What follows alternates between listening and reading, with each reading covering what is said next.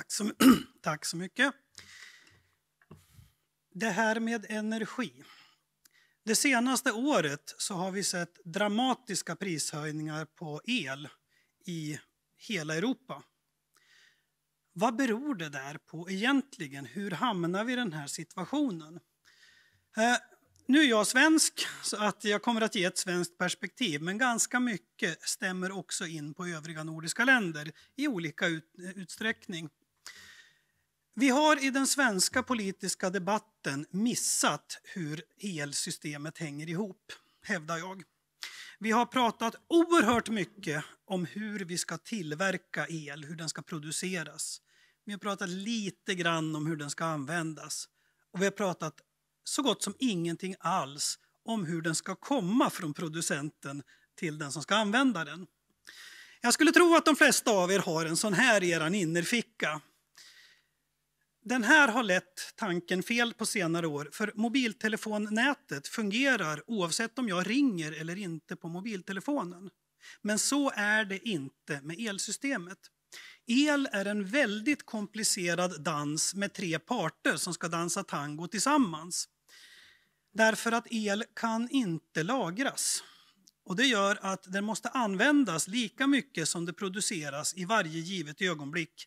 I varje sekund säger vi ofta, men det är faktiskt varje tusendels sekund vi pratar om här. Så den el som tillverkas på en punkt används på en annan punkt och ska överföras däremellan. Allt detta måste vara i perfekt balans varje tusendels sekund. Annars riskerar hela systemet att haverera. Eh, och här har vi också missat att alla sätt att göra el är faktiskt inte lika. Utan den politiska diskursen, för att nu använda ett fint ord, eh, bygger väldigt mycket på att man tittar på så här mycket el behövs det under ett år någonstans i landet och så här mycket producerar vi någonstans i landet. Och ja, det här går ju faktiskt ihop och räcker till och vi kan till och med exportera lite grann. Alltså är det eh, grönt ljus, alltså fungerar allting. Men så är det då alltså inte. Till att börja med, storleken har betydelse här. Många personer utmålar mig som kärnkraftsförespråkare och det är inte helt fel. Men när det gäller elsystemets utformning, det som är viktigt är faktiskt storleken på generatorerna. Stora generatorer, och de använder man, det är väsentligen fem teknologier man använder då globalt i världen. Det är de tre fossila, kol, olja och gas. Det är inom kärnkraft och det är inom vattenkraft, stora vattenkraftverk. Alla de här har stora och tunga generatorer. Och jag kan ge ett riktigt bra exempel. Den största i Norden håller på att starta just nu. Det är Olkiluoto 3 i Finland. Där har man först en högtrycksturbin som är stor som ett mindre hus. Och sen har man tre lågtrycksturbiner som var och en är stort som ett hus. Och sen på slutet har vi en generator som är också stor som ett hus. Och allt det där sitter på en på en axel som är mer än en halv meter i diameter. Alltihop är stål. Hela strängen är över 70 meter lång och det är många hundra ton som snurrar med en hastighet så att turbinens yttersta spetsar är nästan på väg att slå igenom ljudvallen. Det är en enorm upplagrad energi i det här systemet. Och Det här är oerhört viktigt därför att elnätet drabbas hela tiden av små störningar. Och den här stora, tunga upplagrade energin, det är den som gör elnätet stabilt. Att det blir robust mot att det händer någonting någonstans. Även om blixten slår ner i en transformatorstation och ändrar flödena på nätet så lyckas nätet ändå hålla näsan ovanför vattnet och fortsätta att leverera el med samma svängningar, 50 per sekund, som nätet är byggt för. Får vi för stora avvikelser från det här, då kan elnätet haverera. Och det vill vi av lätt insedda skäl då inte. Det här går inte att ersätta genom att ha tusen små generatorer. Man får inte samma stabiliserande effekt. Och Det är till och med så att det finns inte något land i världshistorien som har byggt ett fungerande elsystem baserat bara på små generatorer. Små generatorer i svensk kontext det betyder då vindkraftverk och små vattenkraftverk. Och i ett tysk kontext så har vi också då solceller som en ganska stor del. De har överhuvudtaget inga generatorer alls.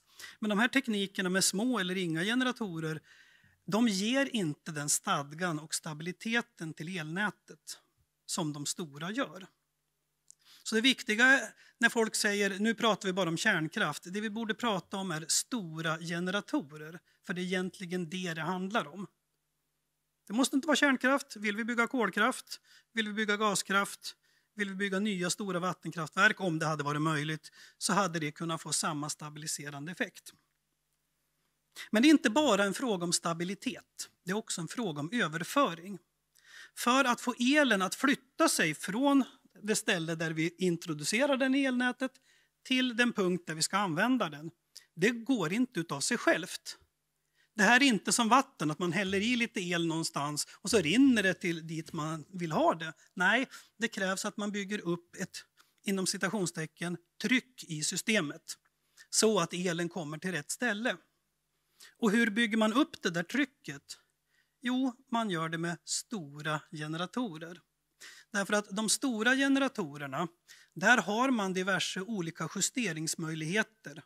Så man kan förändra lite grann i tiden, någon tusendels sekund hit eller dit, när strömmen kommer och liknande.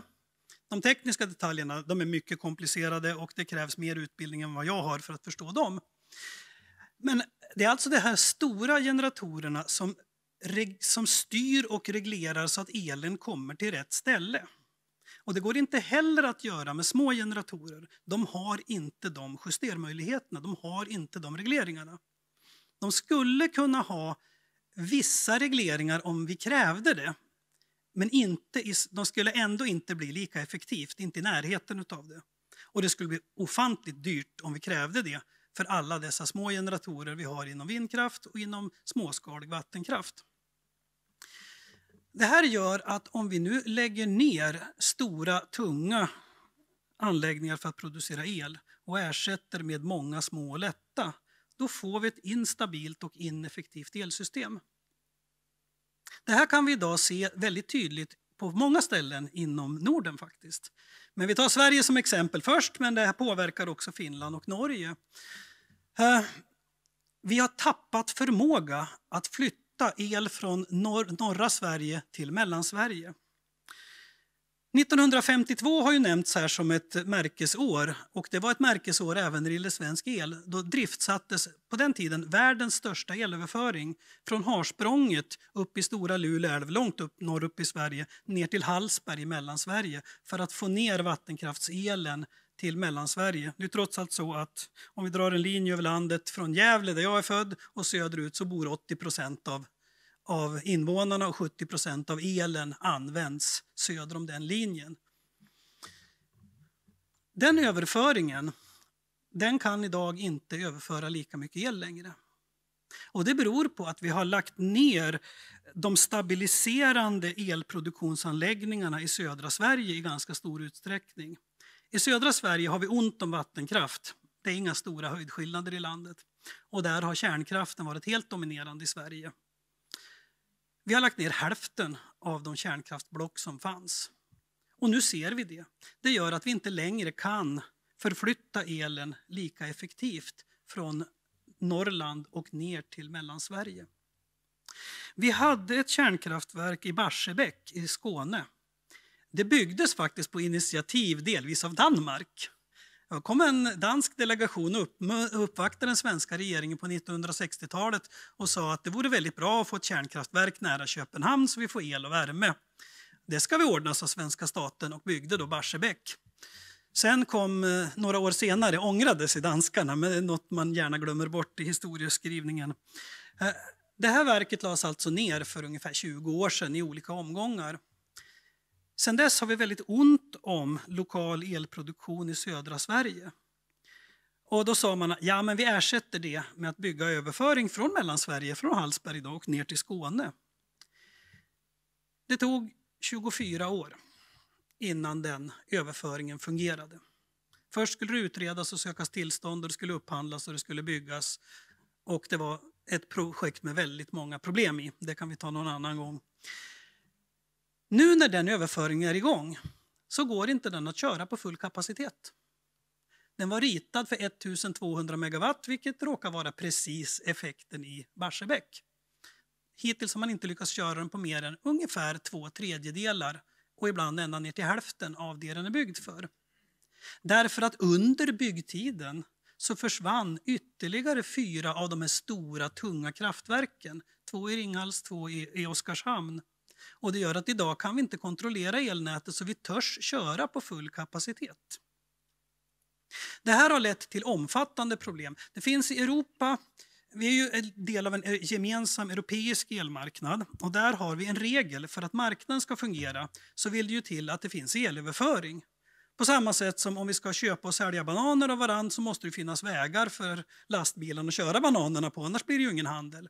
Samma sak här, är man, med, är man medlem i EU då förbinder man sig att 70% av elnätets förmåga ska vara tillgänglig för handel. De sista 30 de får man reservera för sina nationella behov.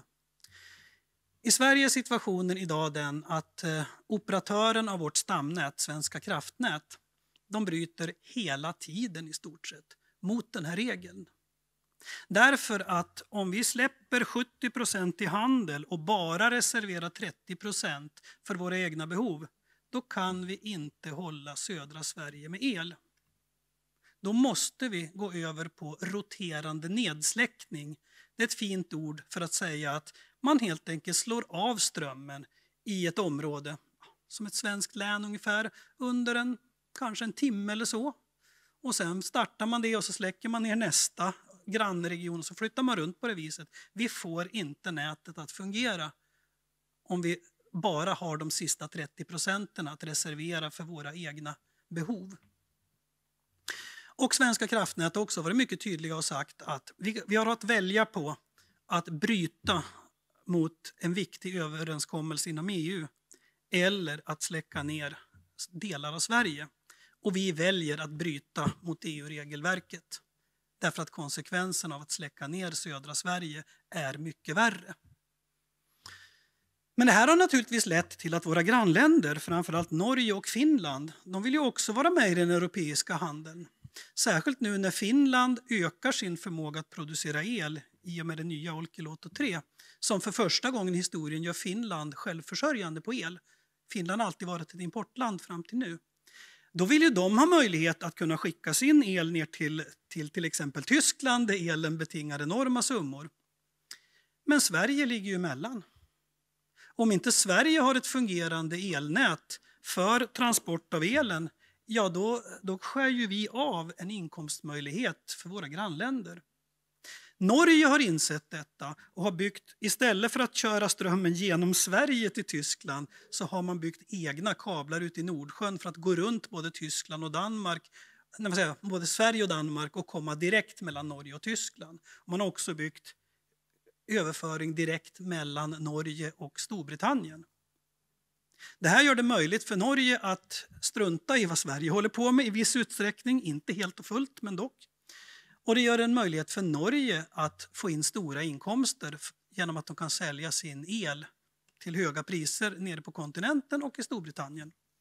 Men det har också lett till komplikationen som vi också ser i Sverige med väldigt höga priser där man skickar iväg den. Förstår man där på stranden i Norge och har lite el och kan välja att sälja den för en krona i Norge eller fem kronor i Storbritannien, vart tror ni den tar vägen? Ja, den åker ju på export. Och vad leder det till? Ja, då måste man ju Norge betala mera för elen för att den inte ska gå på export. Så på det viset importerar man ju då priserna från det land man exporterar till. Om man sen inte återför det till sin befolkning, ja då betyder det att då får ju den egna befolkningen betala dyrt för möjligheten för elproducenter att exportera. Och det här är ett politiskt dilemma vi ser i alla nordiska länder, mest i Sverige och Norge just nu. Hur ska vi hantera den här situationen? Vi ser den väldigt tydligt i Skåne. Idag när vi träffas så slår vi nytt elprisrekord i Skåne. Det högsta elpriset någonsin i södra Sveriges historia. Och det är augusti månad och det är varmt och skönt ute. Men på grund av den enorma elbristen i Tyskland så är det så lönsamt att skicka strömmen från Skåne till Tyskland jämfört med att använda den i Skåne att priserna närmar sig närmast groteska nivåer.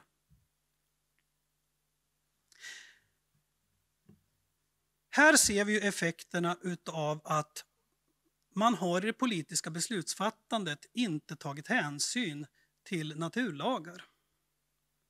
Det har varit en hårt ideologisk diskussion och man har bortsett från hur systemet tekniskt sett fungerar. Och det, här, det har man gjort i första hand i Sverige med Tyskland som föredöme kan väl säga. Avskräckande sådant i mitt tycke. Men i viss mån har man gjort liknande eh, satsningar men inte lika stora i de andra nordiska länderna också. Här har vi ett problem. Och nu ska jag ta och orsaka lite dålig stämning här.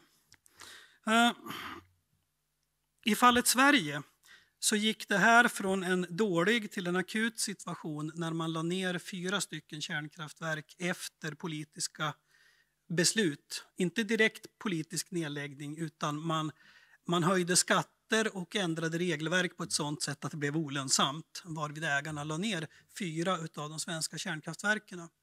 Och efter att det var gjort så såg vi att elpriset har på ett år i Sverige mer än fyrdubblats.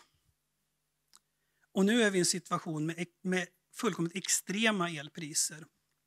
Och det kommer, varje dag får jag telefonsamtal från förtvivlade personer, inte sällan politiker, som säger vi behöver en snabb lösning, en quick fix. Ta oss ur det här fort. Säg mig, vad, vad ska vi göra? Och jag är tvungen att säga, det finns ingen snabb lösning.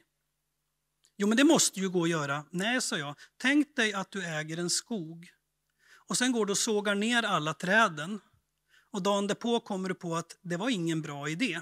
Och så säger du, ge mig en ny skog snabbt. Jag är ledsen, det tar 70 år för en tall att växa upp igen i norra Europa. Så ser det ut. Du får ingen ny skog.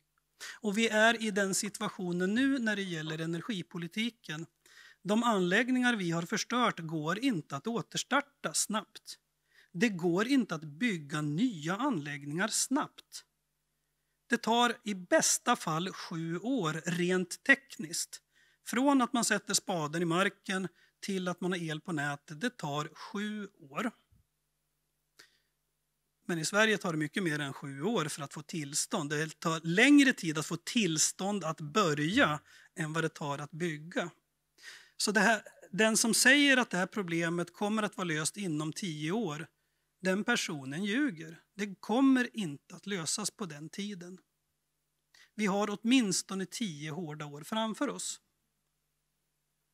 Nu börjar det komma in en, en förståelse i den allmänna debatten att det här handlar inte bara om el, det handlar om säkerhetspolitik och det kommer ni att diskutera mer i eftermiddag. Jag är inte med då. Men det handlar också om hela ekonomin. Nu backar vi till 1970-talet. 6 oktober 1973 inleddes oktoberkriget mellan Egypten och Israel. Dagen därpå samlades de oljeproducerande länderna, deras kartell OPEC, och sa nu drar vi åt oljekranen här. Nu exporterar vi ingen olja till de länder som stöder Israel. Och Det här var ett sätt att försöka få västvärlden att inte stödja Israel och därmed hjälpa Egypten i kriget. Eh, nu lyckades ju Israel vinna ganska bekvämt ändå. Men det här kastade hela Europa, hela västvärlden in i en minst tioårig stagnation. För det som inträffade nu var att energin blev dyrare. För på den här tiden var oljan en mycket större del av energiförsörjningen än vad den är idag. Och det gjorde att eftersom energi den är grunden för hela samhället, precis allt, allt, allt, allt kräver energi. För produktion, transport, ja även sån sak som det faktum att vi har ljus och värme i det rum vi står i. Precis allting kräver energi. Och det gör att när man höjer priset på energi, då höjer man priset på precis allting. Och det inträffade på 70-talet. Nationalekonomer de kliade sig i huvudet, för det här stämde inte med deras idéer om hur saker och ting fungerade. De hade lärt sig att man antingen har hög inflation eller hög arbetslöshet. Har man tryck i ekonomin då är man tvungen att betala mera för personalen men då har man å andra sidan låg arbetslöshet och vice versa. Det var en gungbräda så här. Och nu fick man båda samtidigt. Det som inträffade med början i augusti 2021, för ett halvår innan Ukraina-kriget började, det var att vi såg priserna på el öka i hela Europa och i viss mån också i andra delar av världen. Allting blev dyrare. Idag är elen en mycket större del av energisektorn än den var på 70-talet. Vi riskerar att hamna i situation nu, för nu blir allting, precis allting dyrare. Ni som har varit och handlat mat och upptäckt att matpriserna har ökat rejält på väldigt kort tid. Ja, delvis åtminstone så är det energin som har lett till det hela.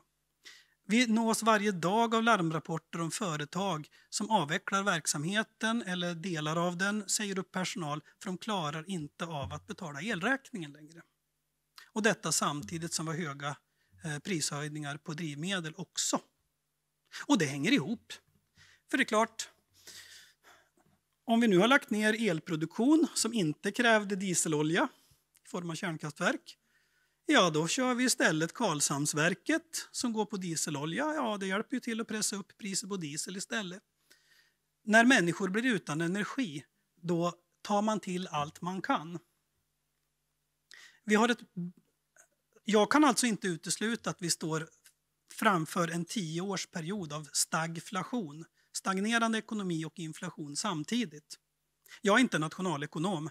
Jag stressar nationalekonomer med de här resonemangen och hittills har jag mest fått bekymrade miner tillbaka men ingen som argumenterat för att det här är fullkomligt taget ur luften. Vi löper den risken idag, att göra om 70-talets misstag. Hur ligger vi till i tiden? Eh, vi har väl ungefär ja, tio minuter till. Oj, oj, oj. Ska vi ta lite frågor kanske?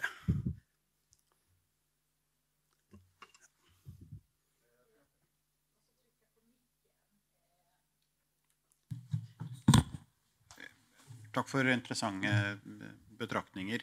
Eh, du nämnde inte det så kallade gröna skiftet oppi allt detta, så jag antar att det komplicerar detta eh, våldsamt om man ska fortsätta med det vi håller på när vi har så lite och dyr energi. Den fråga jag fick var alltså grönt, grön omställning på svenska. Ja, här har vi ju en problematik därför att som jag sa, inget land i världshistorien har byggt ett elsystem på bara varierande energi. Sol och vind och liknande. Energi som inte du själv kan kontrollera eh, när, den kommer. Alla elsystem i världshistorien har byggt på att basen är stora tunga generatorer som du själv kontrollerar. Jag drar på dem när jag behöver dem, jag stänger av dem när jag inte behöver dem. Jag kan variera med hjälp av dem. Det finns någon slags idé här i ett antal länder i världen om att bygga elsystem som bara har så kallat förnybar energi, vattenkraft, vindkraft, solceller. Det är oerhört svårt att få någonting sånt att fungera. Och det blir svårare och svårare ju mer man har. Eh, till att börja med så har vi problematiken att solen skiner några timmar mitt på dagen och inte på natten. Vinden blåser inte alls hela tiden, utan ibland. Eh, när jag var ung, och nu pratar vi ganska många år sedan, eh, när man började fundera på vindkraft då sa man ja men det är lugnt det där, va? därför att blåser det inte här så blåser det där borta någonstans och det där jämnar ut sig. Idag vet vi att det är inte alls sant, utan vi har väldigt snarlika vindförhållanden i hela norra Europa. Det vill säga från Alperna och norrut så är det väldigt ofta så att blåser det mycket i Tyskland så blåser det mycket i Sverige och Finland också. Och är det vindstilla så är det ofta vindstilla över hela norra Europa samtidigt. Så den där idén den fungerar väldigt dåligt. Eh, nästa idé som fungerar väldigt dåligt så är det att lagra el. För det är många, inom många politiska sammanhang säger man nu vi löser det med lagring. Så vi tar snabbkursen om lagring här. Den bäst fungerande lagringsmetoden tekniskt, ja, egentligen är det så att man kan inte lagra el. Men det man kan göra är att man kan använda el för att lagra något annat än el och sen använda något annat för att senare göra ny el. Mm. Men nu använder vi ordet lagring ändå bara för att göra det lätt för oss. Den i särklass bäst fungerande det är vattenkraft. Det vill säga vi pumpar upp vatten när elen är billig och släpper på den när elen är dyr. I, detta funkar ju i princip. Ett land som Sverige som, och Norge som har väldigt mycket vattenkraftsdammar, vi behöver inte ens pumpa upp. Vi, kan, vi spar lite på, på vattnet och sen kan vi använda det senare. Den kapaciteten har vi nått taket för nu faktiskt i Sverige. Det vill säga, idag har vi så mycket vindkraft så att när vindkraften går för fullt och sen mojnar vinden snabbt, även om vi drar på alla vattenkraftverk i Sverige från ingenting till full sula så kan vi nätt och jämnt täcka upp för det hela. Och det här är typiskt. Eh, Vindkraft är en nischteknologi. Den fungerar om den är några procent av helheten. Då fungerar den ganska bra. Men den fungerar inte till att stå för 70 procent av energin. Då blir variationerna så enorma att de går inte att hantera. Mm. Uh, så det, det, är det bäst, bäst fungerade, men där har vi nått gränsen nu för vad vi kan ha. Och ett land som Danmark till exempel, där kan man ju glömma det hela. Det är alldeles för platt för det. Uh, nästa är vätgas. Det har pratats mycket om vätgas. Det vill säga att vi använder el för att dela vatten i väte och syre spar vi vätgasen och sen eldar vi den i en turbin senare när vi behöver elen. Bara utifrån enkla naturlagar så förstör man två tredjedelar av elen när man gör på det viset. Tre enheter el in ger en enhet el ut under förutsättning att man lyckas bygga ett perfekt tekniskt system. I verkligheten blir det mindre bra än så. För det finns förluster jag inte har räknat med i min kalkyl. Utan det här är bara första ordningens naturlagar. Så det är ett oerhört ineffektivt sätt att göra det. Förutom att prislappen är ju fruktansvärt hög för det. Det tredje man pratar om är batterier. Och här kommer också elektrifieringen av fordonsflottan in. Om vi tar alla batterier i, som producerades i hela världen 2021 och kopplar in på det svenska elnätet, då kan vi lagra två dygn. Men då får inte Elon Musk ett enda batteri till sina Teslabilar. Här inser ni nästa problematik i sammanhanget. Och då har vi ändå inte nämnt prislappen i sammanhanget. Det finns helt enkelt inte de volymerna att det här skulle vara görligt på något vis. Utan vi hamnar i situationen att ska vi få en fungerande energiförsörjning till samhället då måste vi producera elen när den används. Vi kan inte bygga det på att producera elen någon annan gång och lägga på lager. De lagringsmöjligheterna finns inte, det är önskedrömmar. Jag har en fråga där borta. Eh, knäpp på micken framför dig. Så. Ja, ja jag kommer från eh, Danmark eh, ja. och det finns ju en dröm i Danmark om det här Power to X, øh, produktion av flytande gröna bränslen. Øh, hur skulle du øh, se på den drömmen? Alltså, det är ju om det blåser mycket vad det ju ofta gör, øh, då kunde man använda den överskud till att producera øh, dessa här øh, flytande bränslen. Hur, hur, hur ser du den möjligheten? Förutsättningarna är snarlika de vi har när det gäller att göra vätgas och sen använda den. En annan variant är att använda elen till att tillverka någon form av bränsle som påminner om ett fossilt, någon slags grön diesel eller liknande och sen elda den. Men då har vi hela tiden problemet att i andra fas, till att börja med så är det svårt att göra det med hög effektivitet. För det andra, när vi sen bränner det så har vi verkningsgrader på 40 procent, 50 i bästa fall. Så även där handlar det om att man använder ofantliga mängder el ut för att få ganska lite el ut. Så den totala El till elverkningsgraden är typiskt en tredjedel eller sämre. Enorma förluster på vägen. Men det, är trevligt att ha en dansk här i rummet därför att jag får ju ofta frågan, ja men Danmark har ju nästan halva sin el från vindkraft. Aha, alltså fungerar det. Ja, men det man glömmer bort där i sammanhanget är att eh, Danmark elektriskt sett är del av Sverige eller Tyskland.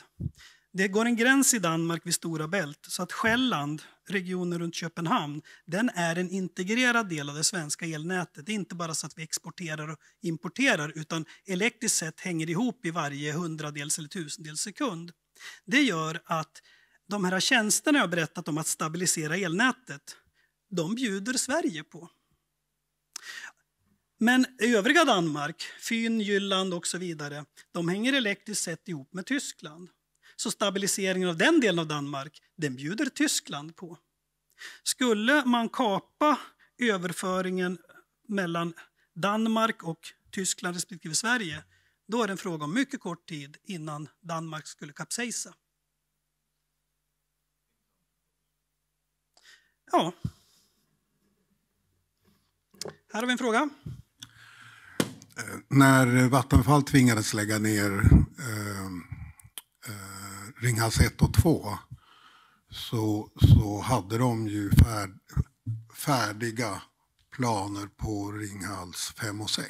Jag vet, jag jobbade i projektet. Ja, hur, hur konkreta var de planerna? Jag har hört eh, platsen nämnas men inte hur, hur, liksom, hur, hur färdiga planerna var.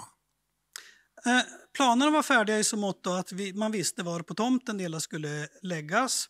Man hade en tidsplan och man visste också vilka leverantörer man skulle ta in offerter av.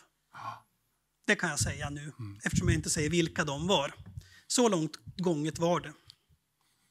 Och det var mitt jobb på den tiden att stampa fram ett par, tre tusen trevliga unga civilingenjörer ur backen så vi kunde- klara av det där bygget. Westinghouse var ju redan testade så de låg väl bra till utan att... Det var ingen fråga, det var bara en synpunkt. Hade det varit en fråga hade jag inte kunnat svara på den. Ja. Mm. Ordförande, hur ligger vi till? Ja, jag tror att eh, vi ska bryta nu Mm. och eh, släppa fram Ann-Kristin från Munterstedt som kan få säga några ord. Tack så mycket för anförandet.